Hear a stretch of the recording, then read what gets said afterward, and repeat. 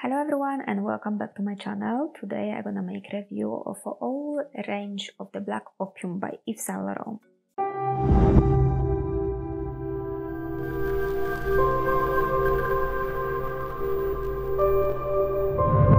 The inspiration of the Black Opium is the expression of the constant addiction and a very rock chic spirit.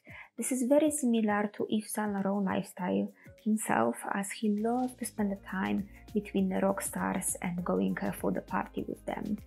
And also his favorite color is the color of black and he was always saying that the black is the color which has and it comes in a many shades. Black Opium Woman and the personality of this fragrance is the woman who is uh, very powerful, who is very assertive, but she is in search of the new experiences in her life. The face of the Black Opium is Zoe Kravitz and she is just amazing in the campaign. I'm not sure if you've seen this yet. Um, if you didn't, have a look. She's very cool. She's very relaxed. She's uh, in the party with her friends. She's definitely the queen of the dance floor there. The bottle of black opium is a reinvention of the classic opium from 1977 and in shape is exactly the same as in the shape of inro. The inro was traditional Japanese case which warriors were uh, wearing mm, around their waist and keeping there their belongings. The only difference is in uh, color because the classic black opium was quite orange, deep uh, brown and in here is the black uh, glitter bottles. I have with me the limited edition is the white edition um, which comes in a 50 ml and this edition is uh, for this year Christmas and every year uh, what the Saint Laurent does is uh, very cool from them they always release the collection uh, bottle uh, for the first time.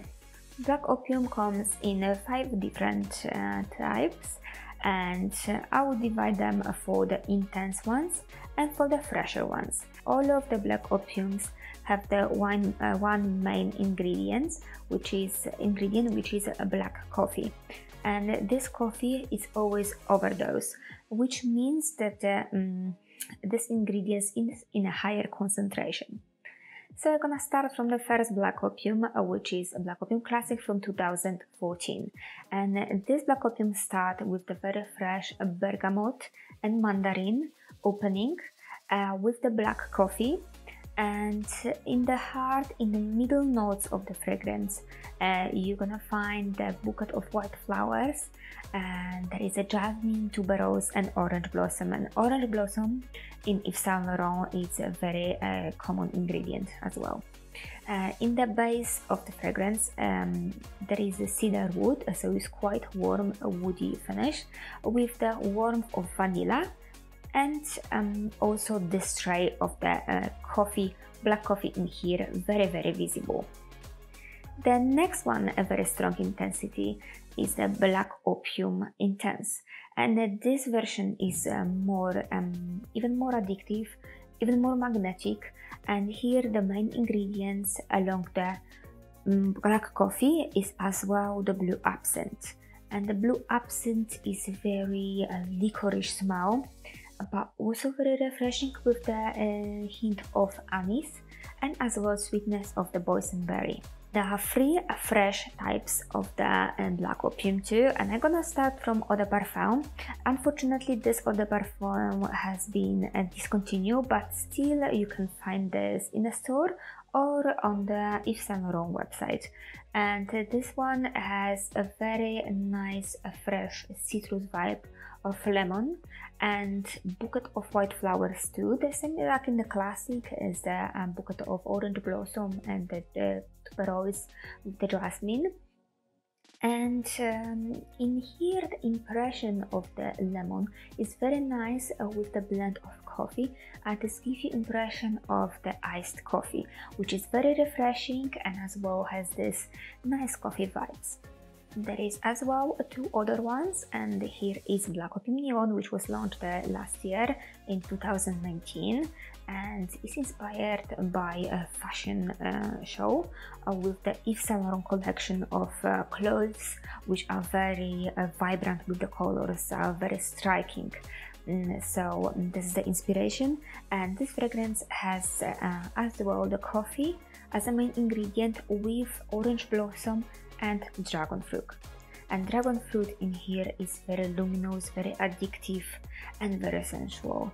And the finish of the fragrance is similar with the hint of vanilla. The freshest version of the black opium which is great for every day is the black opium eau de toilette. And eau de toilette has a fruity vibe of pear on the top with um, citrus with lemon white flowers and coffee um, in the base it's mixed together with the musk so it gives a little bit more uplifting uh, uplifting sensation uplifting mood. And for who I would recommend the black opium range.